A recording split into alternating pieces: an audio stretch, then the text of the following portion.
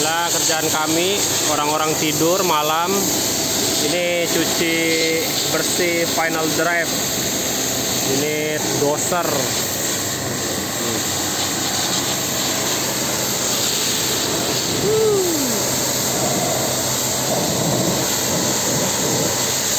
Cuci bersih, ini doser.